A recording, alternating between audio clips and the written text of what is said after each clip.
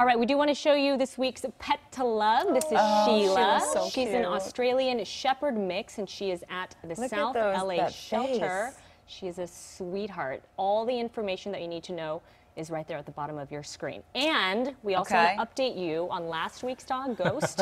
he was adopted from the Pasadena Humane Society, Oh, and he's been renamed Miso.